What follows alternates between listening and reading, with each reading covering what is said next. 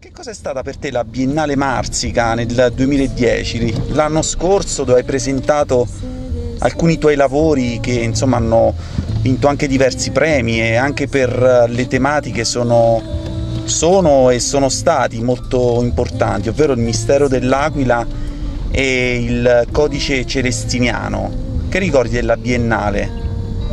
Lavori che ho presentato sono Secretum Secretorum di Celestinian Code e Il mistero dell'Aquila la Nuova Gerusalemme. È stata una bellissima esperienza perché mi ha permesso di proporre i miei lavori eh, nell'area marzicana eh, durante l'esposizione della salma del, del, delle spoglie di Celestino V a Pescina e ad Avezzano.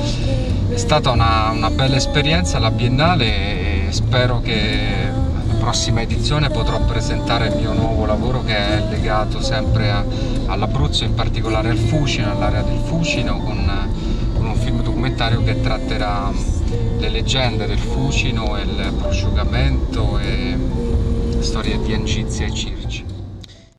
Beh, Celestino ha lasciato una grande eredità, non solo all'Abruzzo, un'eredità a tutto il mondo, tant'è che James Redfield poi ha dedicato delle pubblicazioni a lui profezia di Celestino in poi. Il messaggio più importante di Celestino è indubbiamente il perdono, il perdono che viene celebrato all'Aquila con la perdonanza che è comunque di fatto il primo giubileo del 1294 poi ripreso con il grande giubileo di Roma del 1300 da Bonifacio VIII.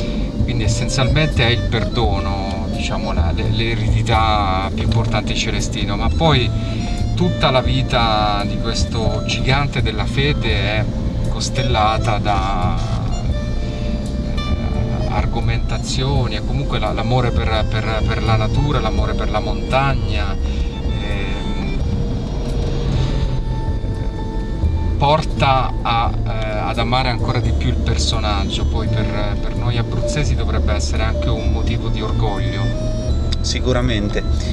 Germano, i tuoi mh, prossimi appuntamenti, ehm, quindi stai concludendo questo eh, docufiction o documentario sul lago del Fucino, il lago che è stato. Il lago che non c'è più. Il lago che non c'è più. Purtroppo. E a breve dove ti possiamo seguire? Guarda, i miei prossimi appuntamenti in zona sono all'Aquila.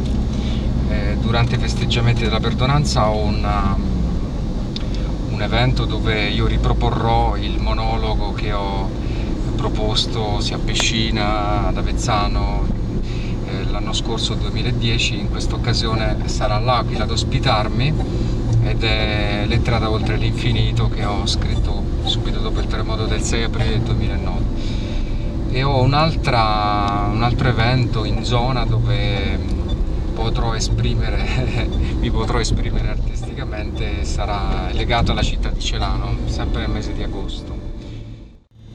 Allora Germano, tu sei un uh, uomo metropolitano perché vivi a Roma, ma quanto è stato importante o quanto è importante secondo te il silenzio del, del borgo, non solo quello della Biennale di Antrosano, ma in generale il silenzio che si ritrova comunque soltanto in questi luoghi ormai? Beh, di silenzio ora, oggigiorno ce n'è sempre meno, quindi credo che si possa apprezzare di più proprio, proprio per questo motivo.